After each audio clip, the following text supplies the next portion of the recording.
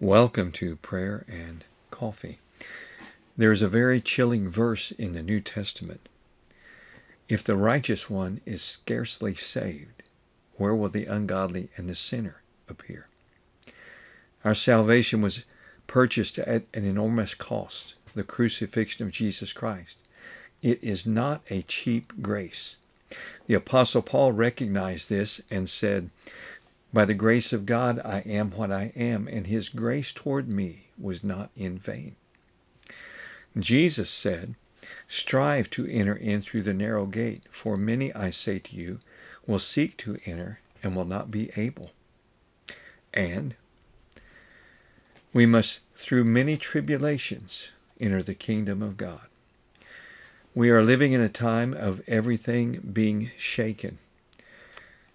Yet once more I shake not only the earth, but also heaven. Therefore, since we are receiving a kingdom which cannot be shaken, let us have grace by which we may serve God acceptably with reverence and godly fear. For our God is a consuming fire. This is not a time to play church. Get serious. Watch and pray. Stay alert. Jesus said, I have set before you an open door for you have a little strength, have kept my word, and have not denied my name. Let's pray.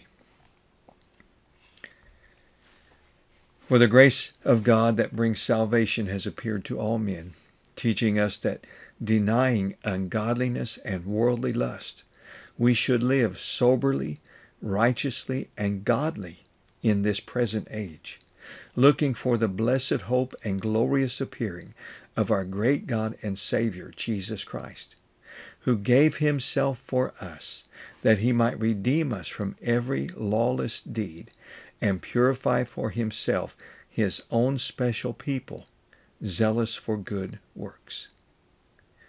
In the name of our Savior, Jesus Christ, amen.